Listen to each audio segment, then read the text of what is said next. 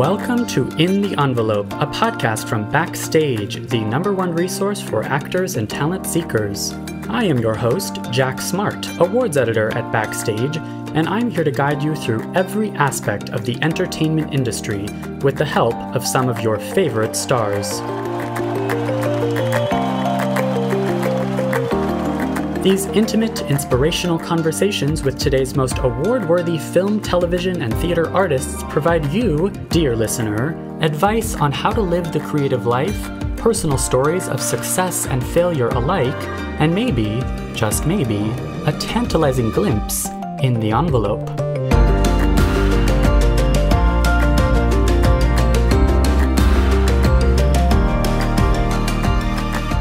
It's all about just calibrating and trying to find what specifically motivates you.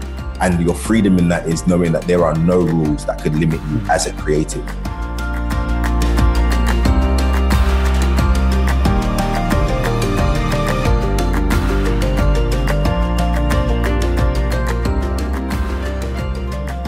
Hello and welcome to another episode of In the Envelope.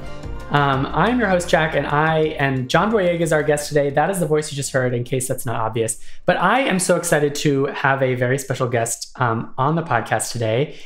Hannah, would you like to introduce yourself to listeners at long last? I'd love to. Hello, listeners of In the Envelope. It has been, well, I'm just really glad to be joining you. I work at Backstage, uh, just in mm-hmm. case you're mm-hmm. wondering why I'm here. Um, I've been with Backstage for the last four years. In fact, uh, just last month, it was my Backstage anniversary. So congratulations. Thanks so much. And yeah, I'm in the hmm. UK, if you can tell by my accent, from Wales, which is a bit different from the English accent. If nobody knows sure. where Wales is, it's to the left. Um, sure. yeah, and I've been here working um, on the ground and letting people know that they can use backstage as actors and creators uh, to make their projects great totally. or to find work. Totally, four years, and uh, a lot of progress has been made in those four years. Yeah, when we started four years ago, it was like a chicken and the egg type situation. We had to right find actors who would be interested in, in using backstage and then um, right. people to cast projects through backstage. And it's like balancing the two. You need the actors for the projects and the projects for the actors. So right. it's been yeah it's been a nice journey. And um, yeah oh, it's yeah. it's crazy how much we've grown the sky's the limit. years well totally. yeah i hope so. Yeah. First of all what is your title what is your title? So my title is UK casting specialist. And what does that entail? And how is that, how has this like changed in these four years? Um, so uh, my my work has changed, yeah, quite a lot actually. When we first started in the UK, it was sort of just padding out where we could fit into the industry here and hmm. understanding where our place might be and how we might be useful to actors and people who are creating content. So now I am um, giving loads of talks at um, film schools and we get heavily mm-hmm. involved with film festivals. Um, I speak on a lot of panels. I should give a bit of background actually as to why I'm working in this sector. So I've worked in casting for 10 mm. years. Yes. Okay. So um so when I joined backstage I had already worked in casting for for a long time. Um and so I was brought on to let the, the team in the US know more about the UK industry. Um, and right. as part of that now, my work developing backstage is working a lot with partnerships and brands and organizations and film totally. schools. And it's all about just letting people know that we're here and that people can use us and that we're a good a good resource. Well, and you've had some wonderful guests um, on the slate, UK guests, I suppose. Do you have like a?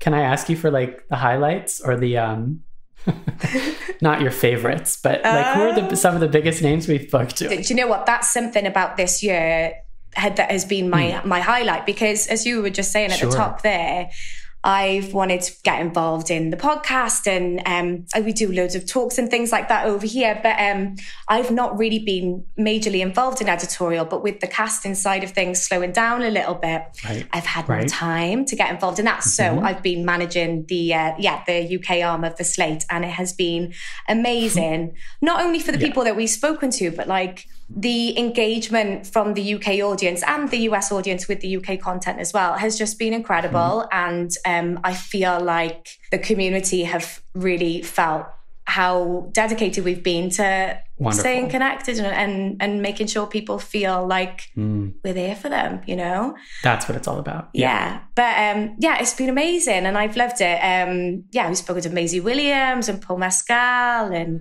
uh, mm-hmm. Russell Tovey and um oh my gosh.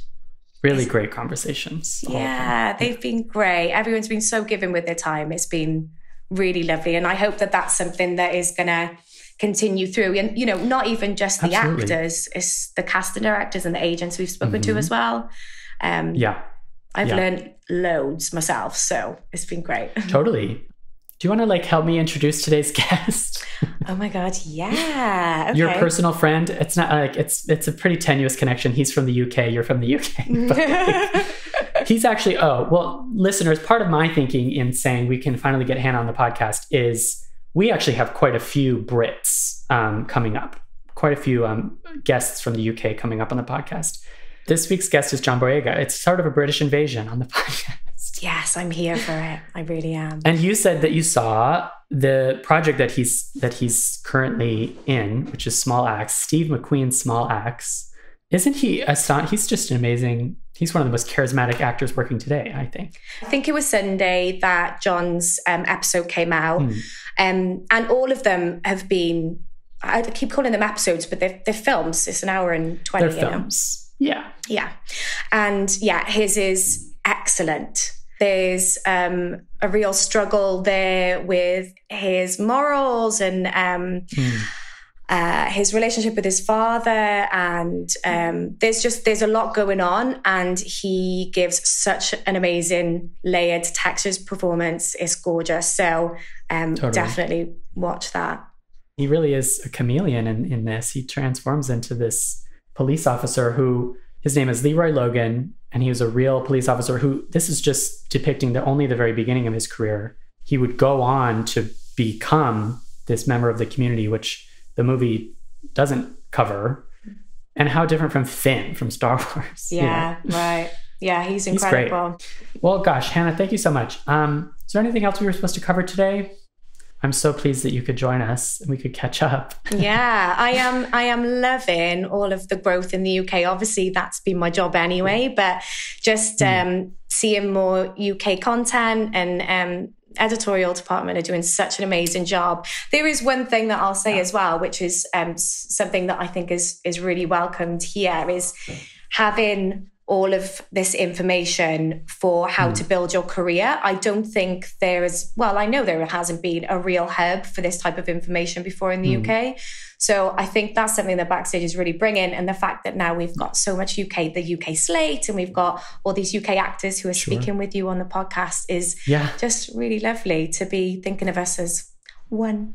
It's lovely. We are all one. I know, for, again, especially after the pandemic, it really is a community without borders for yeah. sure. So we will link in today's episode description and in the article for this episode to Hannah's How to Get Cast on Backstage in the UK by Hannah Williams, mm-hmm. um, because that includes uh, just really all everything you need the call sheet, the guide to the headshot. Hannah is uh, boots on the ground in the UK. She has all the connections. She knows the ins and outs, and she knows where backstage fits into that, as you were saying. So yeah, check it out.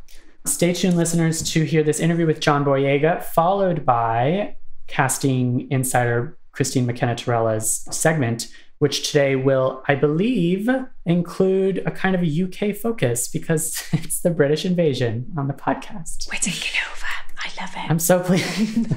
and we'd love to have you back on. Any any excuse. It doesn't have to be UK actors on the podcast. Well, you just let me know and I'll be there with my headphones and my phone ready to record whatever in you your need. home office. Yeah, Perfect. in my loft. in your loft. Well, thank you so much, Hannah. All right. Thanks so much, Jack. Hey, if you are an actor or an aspiring actor, someone at the beginning of your artistic career, and you haven't signed up for Backstage yet and you don't know how it works, I have good news for you. Backstage is offering 30 whole days completely free just for our In the Envelope listeners. If you visit backstage.com slash subscribe and enter the code ENVELOPE, you will have full access to the site where you can make a profile, upload a headshot, upload a reel, start applying to the thousands of casting notices uploaded every single day on the world's number one casting platform. Again, we are giving listeners of this podcast 30 days completely free to try out Backstage. Go to checkout, that's backstage.com slash subscribe, and enter the code ENVELOPE. If you want to be in contention for an Emmy or for an Oscar or for a Tony or for a SAG award, do as many of the guests on this podcast have suggested and use Backstage. We are here for you. Again, free 30-day trial, backstage.com slash subscribe. Enter the code ENVELOPE.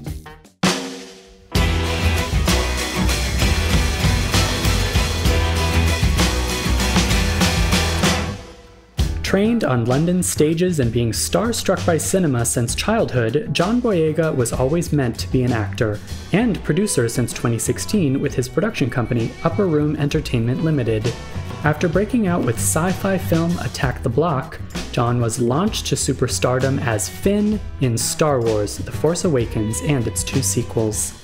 He's also appeared in Imperial Dreams, Detroit, Pacific Rim Uprising, and now Red, White, and Blue, one of the films in Steve McQueen's Small Axe anthology series.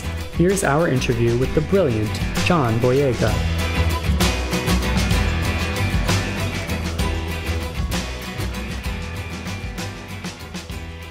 John, how are you?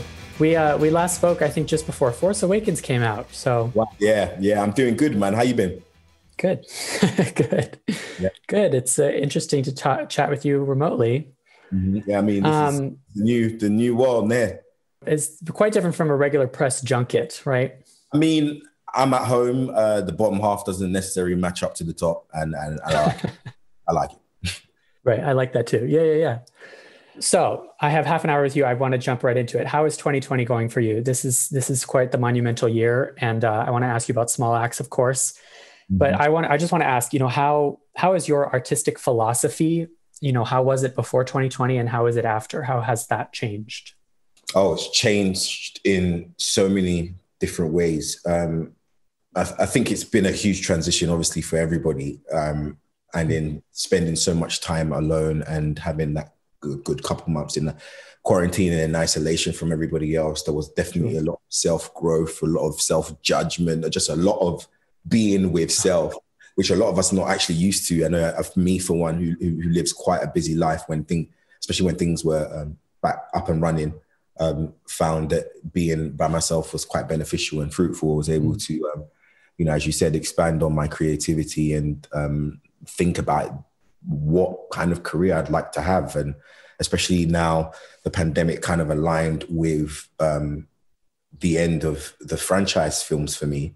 It was yeah. like you know, that I was at that crossroads anyway with with just looking ahead and deciding what to do. So I guess that's what the transition has been like for me. And then being emotionally affected by the news that we've received, spanning from, you know, what we know is going down in, in, in the States, currently what's happening with uh, the SARS reform in Nigeria and various other, you know, losing Chadwick Boseman, yeah. you know, various other things that has happened. There's just been let's say, quite hard to, to watch from comfort, if you if you know what I mean. Mm-hmm.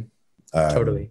So that that has perhaps maybe changed me and made me much more intense and proactive with things, and has sparked up some unique events this year for me that I didn't, I couldn't have possibly tell. I couldn't tell you I would have been involved in certain things, and you know, and one of them being working with Steve McQueen in Red, yeah. White, Blue, and you know, it's just been it's been cool in some aspects, but it's just been 2020 mad. Yeah.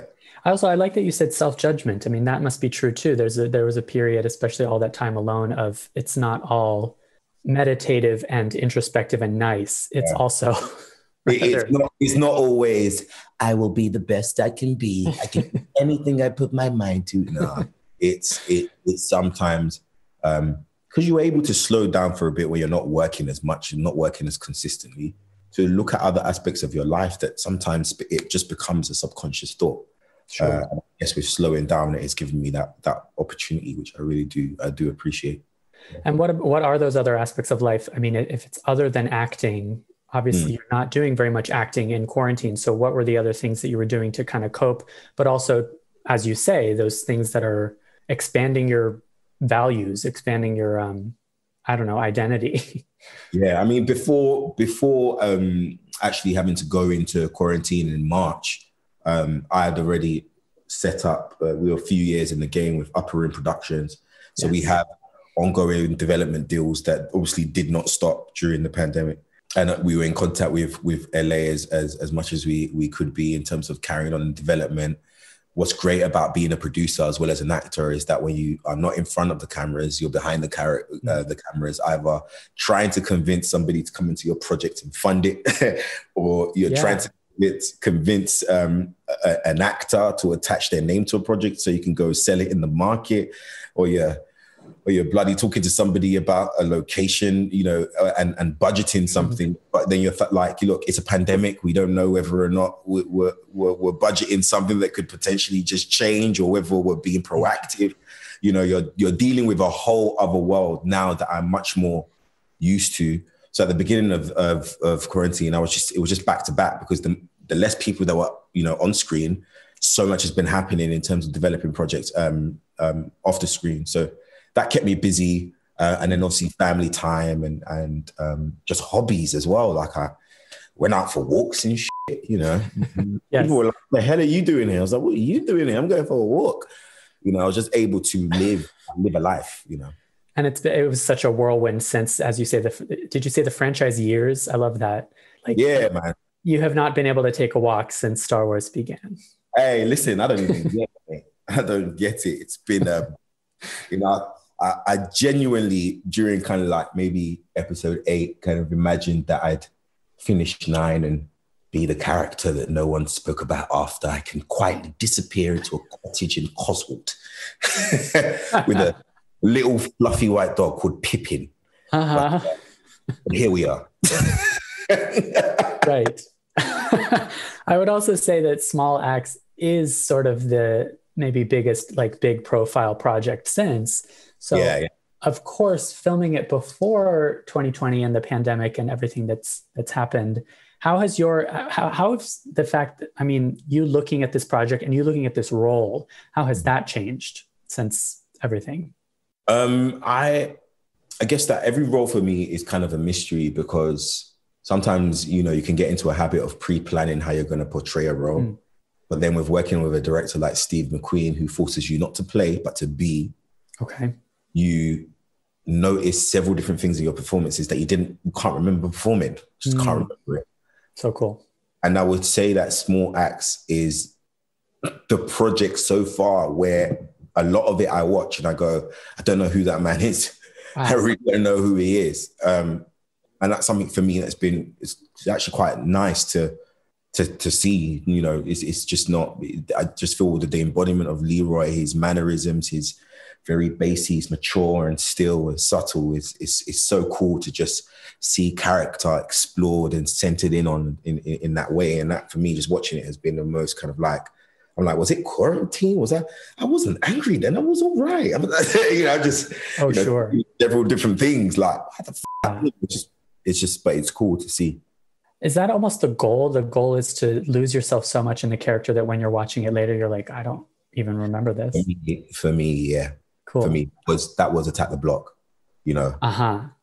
You know, I, I, watched Attack the Block and was just kind of like, hey, man's all crud. Like, I'm not like that. You know, I'm like, I'm, I'm more talkative, more conversational, more, yes. you know. I mean? So it's like just mm. seeing different sides of yourself. You know, I don't know how actors, you know, other actors feel, but for right. me, it's the most beneficial to see yourself embody maybe the just the, the, core truth of a character to the point where you're just like, I know that I'm not me in that moment, you know. Sure. I mean, some actors don't like watching themselves at all.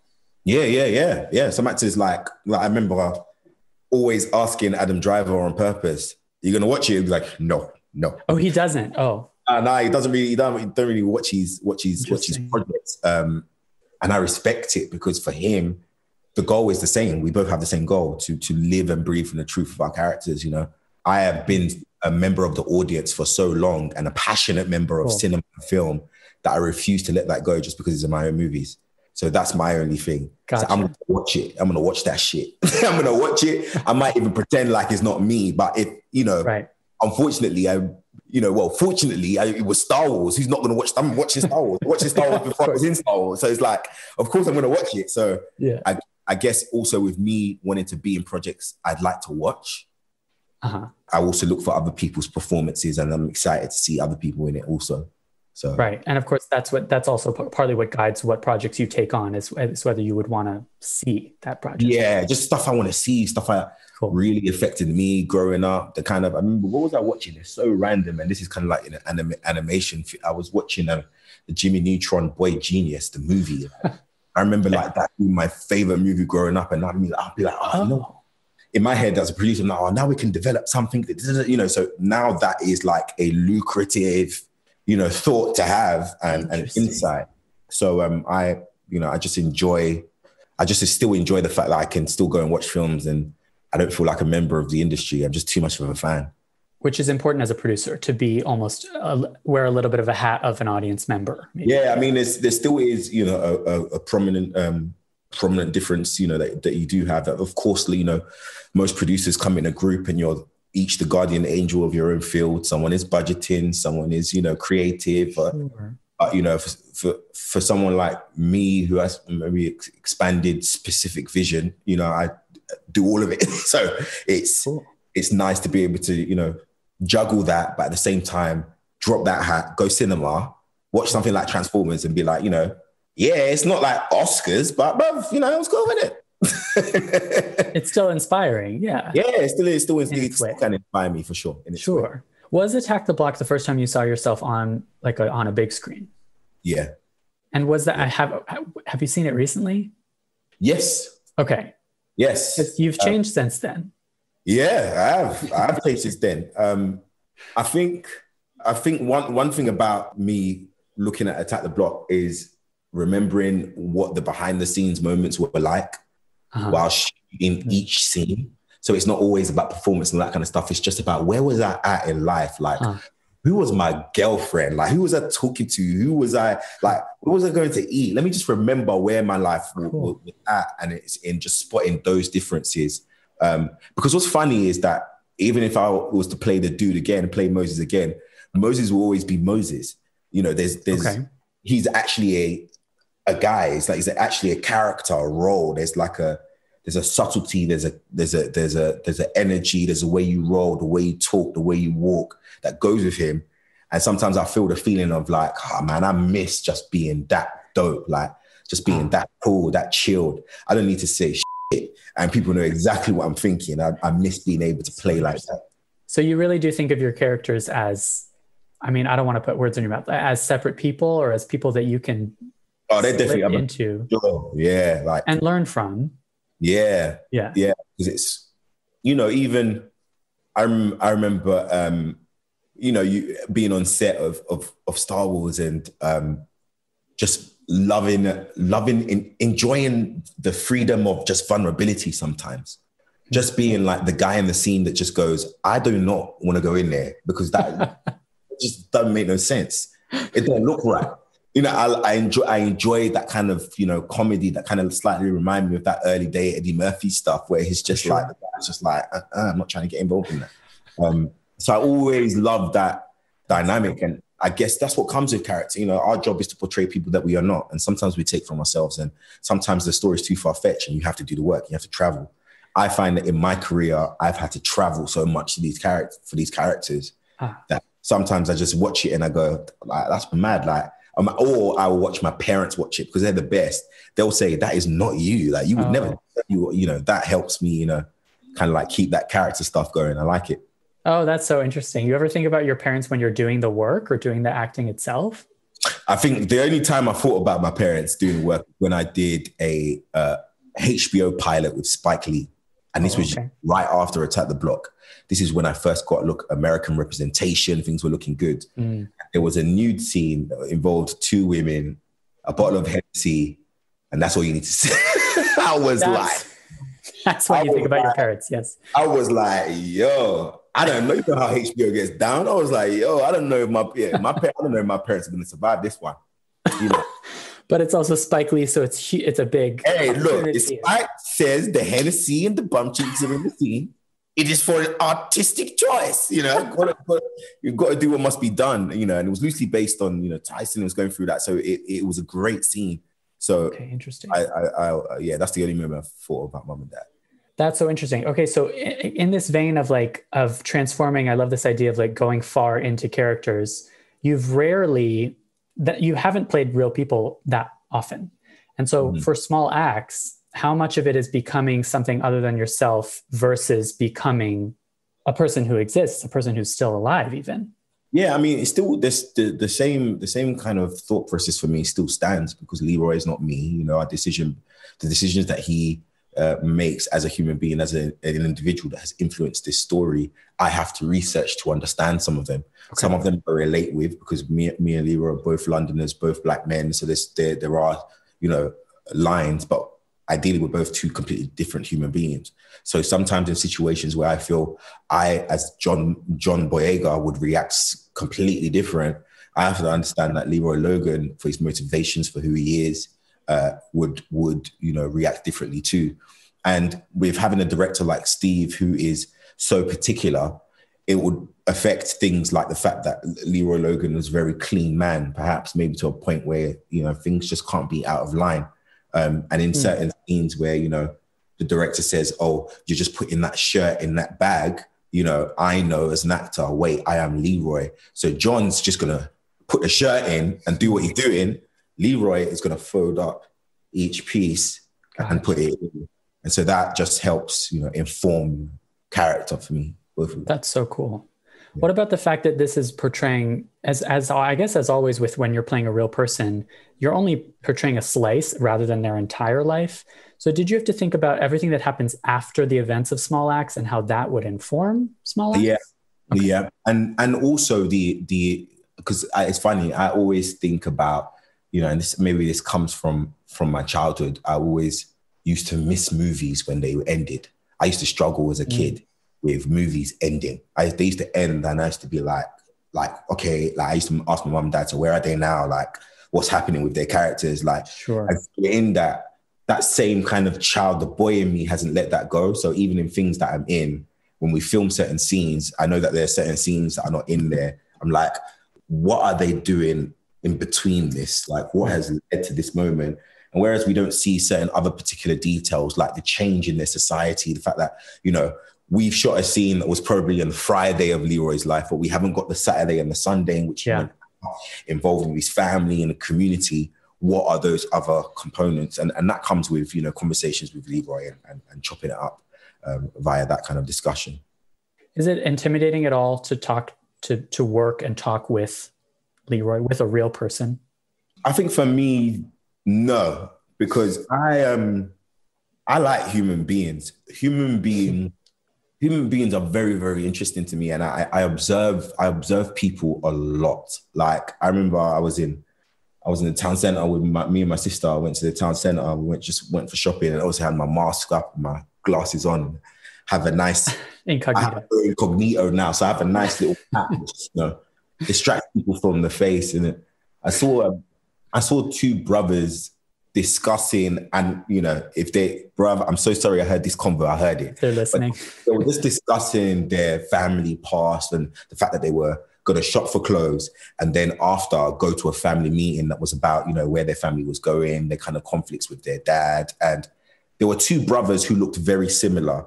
One of them i noticed was quite stern and strict with how he wanted the process to be. The other one had more had more empathy. And just from a distance, I was just like to my sister, can you just like, just wait for a second? Or what would I tell her to? Yeah, I just told her to just wait for a second. I just pretended to just take the clothes and I just watching these guys, watching the way they move. And I'm just like, huh, there's a movie um, that actually, a script that I actually read and I didn't know how to fill these roles. I could potentially play twins and didn't know how to fill these roles. And I was just like, I like this dynamic. So sometimes it just, you know, you can just be living, you can just be out there is what you keep your, your yourself open to that could inspire your your work. Research comes from anywhere. Research can be anything. Anything. Cool. Like research can be could be anything for sure. And even like studying mannerisms, studying their physicality, the the the way they physically move, stuff yeah. like that. all, all, all of that is, is, is super important. I remember being on set and um, of Star Wars and shooting in a particular way, being like. And Daisy was just like, "Why are you shooting like that?" I was like, "Video games." I couldn't, get the, I couldn't get the posture right. I want my shit to look right. You gotta have your own stance. so I just, I'm also, I'm just such a fan of the detail of, of sure. film. You know, I'm just like, I'm just I, I, used to watch hours of B-roll, you know, when YouTube first came out and they had B-roll videos now started coming out on YouTube. I used to be obsessed with just looking at this on-set environment, just you know, and sometimes they have it without music. You just hear the normal oh, wow. sounds and the people conversating. I just had a really distinct um, interest for it. I've never heard of that. That's such a cool I, like for it's actually great advice for beginning actors to soak in the environment of a set by watching b-roll yeah that's how i dropped out of university man oh, i was i'll tell you this crazy story i haven't told anyone this story publicly before i was at i was at university um, university of greenwich and you know university of greenwich has been used for various locations uh, mm. thor dark world has been shot there and while my lecturer is going you know um, teaching us through um, uh, a lesson we just there was an explosion and the floors of the lecture room started to vibrate. Oh wow! So thinking, what the hell is what the hell is going on? I go to go towards the window. I see there's a film set downstairs shooting, and it's Pirates of the Caribbean. Oh, Johnny Depp on top of two carriages as Jack Sparrow, just riding through this town that they they transformed some of our university grounds to look like that. I stayed there for hours and never went back to uni because I was like, I just need. That's what caused your job. And you know what's so mad about it is that every time I've seen Johnny Depp face to face, he's been Jack Sparrow. So the next yeah. time I saw him after that was D23 and he was dressed as that Jack Sparrow. So I'm like, every time I see you, I get like a light bulb, dude, that you're always in costume. We don't know what it is, but wow. it's like, it's art, the way art has made interacted with my real life as well has been so cool and crazy to me. So, I, you know, that's actually beautiful and it also it goes back to what you were saying about like you you are in touch with your childlike sense of play correct yeah man because you know i remember when you know the, at the office sometimes um let's say it'll be a, a, an intense day creatively everybody's just trying to get a treatment done and we're trying to send it into a studio one of our other co-production offices to, to, to, to get our story out there but we're, we're struggling with story and everyone's in the office hmm. frustrated mm. you know I'm the type of CEO that comes out the window and say, guys, this ain't no cancer research. Ah. you are not politicians. Right. You are artists. You are you are here to tell stories influenced by the realities and emotions of what we live. Hmm. So perhaps you guys haven't lived enough in your hmm. weekend to be inspired by the week. So maybe what you should do, take a break off, you know, trying to brainstorm and watch something, be inspired by something, gotcha. see somebody else struggle, you know, have someone else to relate to. Mm. So that's kind of like more my, you know, my process was thinking. And, you know, the guys at work would just be like, yeah, man, let's like, you know, when you're just, you know, as a writer, you know, if you're, you have, we deal with writers too, of writer's block. And, and, and sometimes yeah. you're not going to get your three page sample document out of them in time. So you have to think of, of, of processes that will, will, help inspire genuine, you know, uh, uh, genuine inspiration. And that's the process I've used just as an actor, you know, by totally. myself. Totally. It is all about channeling inspiration and figuring out how to. Yeah, artists, that's what we have to use. It's not always, it, we, we do not always have to embody the, the corporate um, uh, uh image, know, the seriousness. Right. Yeah. That's beautiful. Gosh, we, I mean, we're backstage, so we're all about the craft and career advice, and you've given us such like in intricate details to the process. What is your number one piece of advice for those just starting out in the industry? I. I say this. Um, I remember when I was starting out, and the and and and and and obviously because of the current times, you are thinking about your future. Um, you're thinking about your finances and your prospects. I think it's important to understand the type of industry you're, you're joining, um, the opportunity um, that is available, and the different ways in which you can you can enter and, and, and be a part of something. One way doesn't work for every, for everybody. So, for example, Daniel Kaluuya's introduction to the industry was very much different um, at mine, but I feel like it's being present.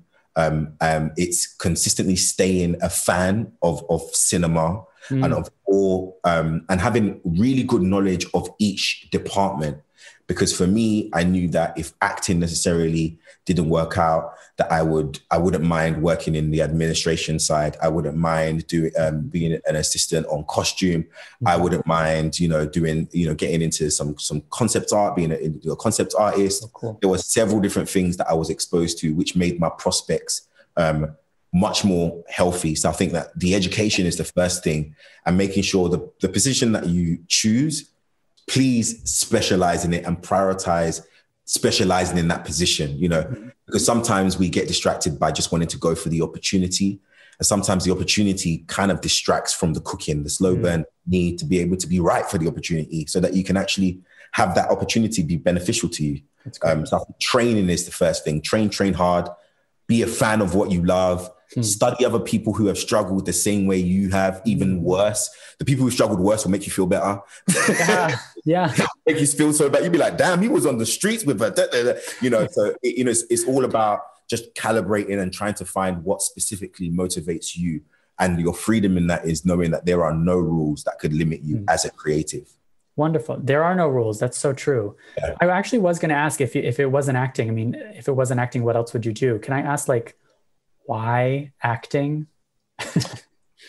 acting has been a part of it's been it's been a part of my my rise socially as an unknown kid from London. Like I wasn't good at football.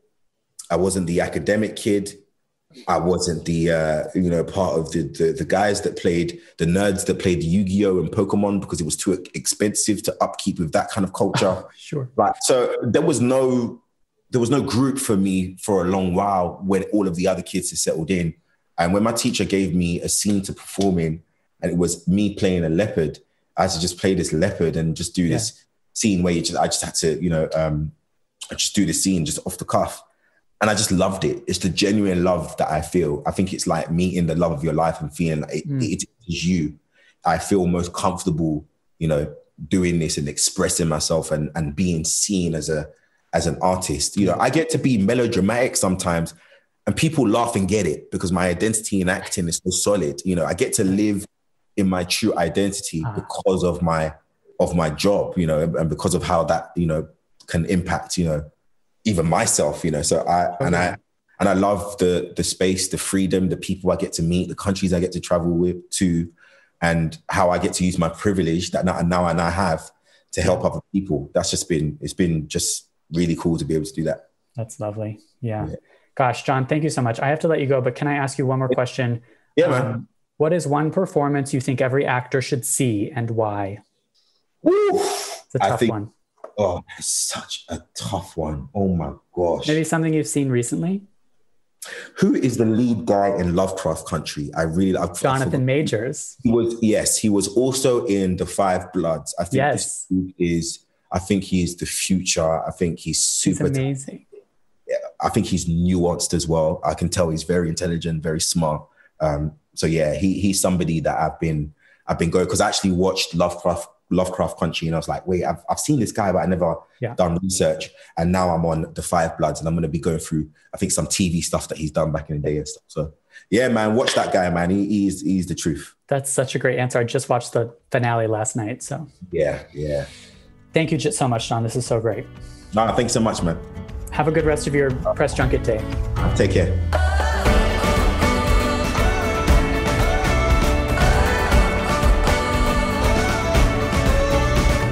And now it's time to hear from Christine McKenna Torella, our backstage casting insider. I will let her take it away.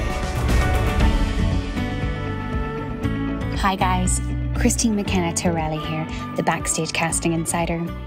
It's the British invasion this week, and I love that you guys got to hear from Hannah Williams. She and Neil Kennedy are part of the backstage casting team in the UK.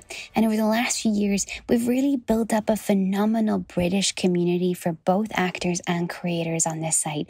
And there are so many exciting casting opportunities coming from that region in particular this year.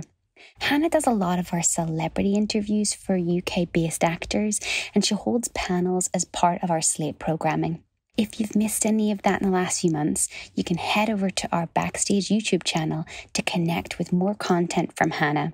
I highly recommend it. She's a fantastic interviewer and host, and both she and Neil are casting experts that are super knowledgeable in their field. So, my casting calls for this week are from the UK region. I wanted to highlight that part of the world. Again, really great casting opportunities happening over there. So, my first highlight is a casting call for a BBC drama. Emma Stafford Casting is currently looking for suggestions for a new BBC drama.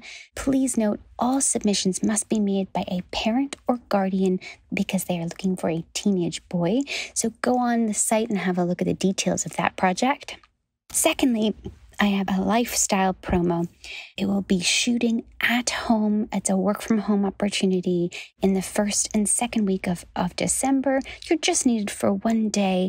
It is a app that is a Christian app for meditation and prayer, which sounds like a very interesting project.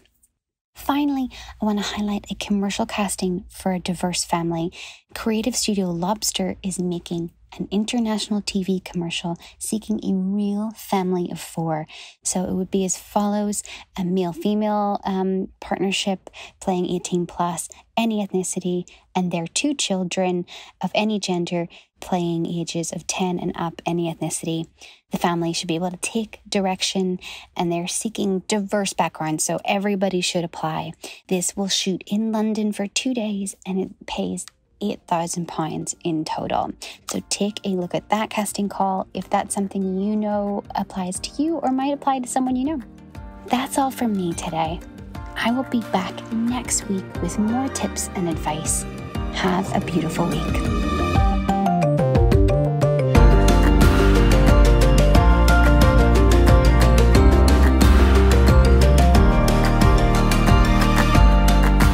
In the Envelope is recorded at Lotus Productions and Hyperbolic Audio in New York City, and Soundbox LA, Marc Graue Studios, and Buzzies in Los Angeles.